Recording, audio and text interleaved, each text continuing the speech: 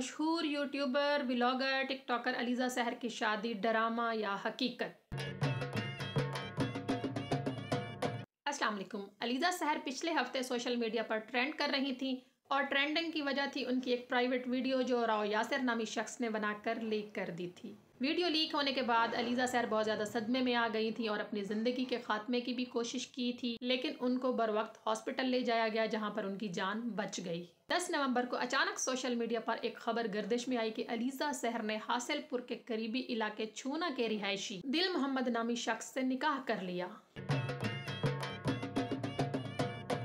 कई दफ़ा fake videos social media पर वायरल हो जाती हैं, इसीलिए सबको यही लगा कि ये खबर और वीडियो फेक है। लेकिन अब इस खबर की तस्दीक हो चुकी है, क्योंकि निकाह की वीडियो के बाद अब उनकी मेहंदी की वीडियो बारात की वीडियो और रुखसती की वीडियो वायरल हो चुकी है। निकाह में फैमिली के चंद अफराद मौजूद थे, लेकिन मेहंदी, बारात और रुखसती में अहले इलाका और काफ़ी ज़्यादा लोगों ने शिरकत की है। अलीज़ा शहर की शादी काफ़ी धूमधाम से हुई है। बैंड बाजों के साथ साथ घर को भी खूब सजाया गया। बैना इतलात के मुताबिक अलीज़ा सहर के शोहर दिल मोहम्मद पहले से शादीशुदा थे और अलीज़ा सहर और दिल मोहम्मद की काफ़ी अरसे से दोस्ती थी।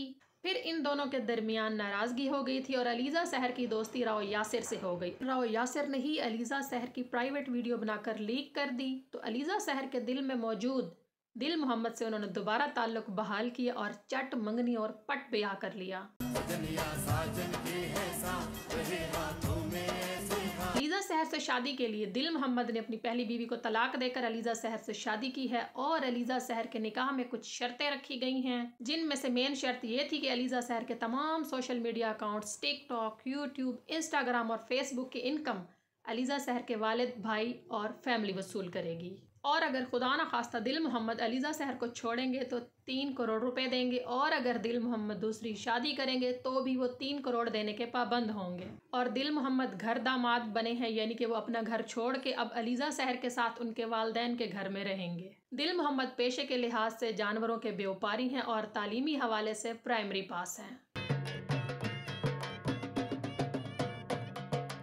नए शादीशुदा जोड़े के लिए नेक तमन्नाओं का इजहार। अल्लाह ताला इनके रिश्ते में बरकत डाले ताकि ये रिश्ता कायम रहे। अल्लाह हाफिज़।